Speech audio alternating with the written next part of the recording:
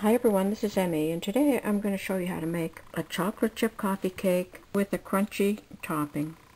So let's get started.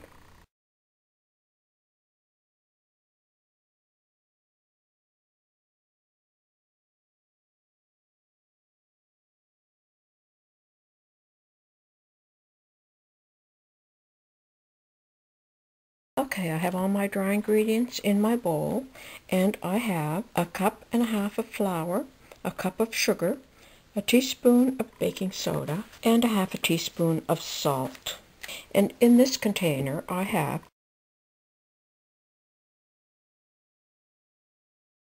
a cup of water, a third of a cup of cooking oil, a teaspoon of vanilla, and a tablespoon of vinegar mix these dry ingredients together and I'm going to dump all at once all of the wet ingredients that are in my container.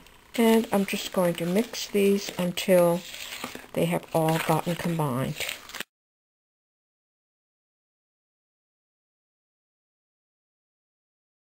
Okay, so that's how it looks after one minute. Now I'm going to add about a cup of chocolate chips and I'm going to incorporate that into the batter. I've greased my cake pan. I'm going to pour in my batter. I'm going to add more chocolate chips. And I'm just going to put a handful of brown sugar. It's going to form a nice crust on the top. I'm going to add some of these little chocolate sprinkles. And I'm going to bake at 350 degrees. My coffee cake has been baking for 40 minutes and you'll know it's done when you insert a toothpick in the center and it comes out clean. I'm going to let this cool in the pan and then I'll run a knife along the outside and I'll be able to turn it out onto a plate. And I'm just going to make sure it's not stuck on the bottom. That seems to be okay all the way around. Cover it with a plate and tip it over.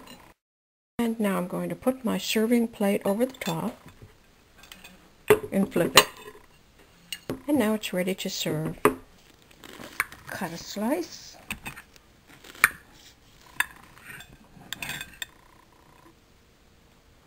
And there you go, a chocolate chip coffee cake with a crunchy topping.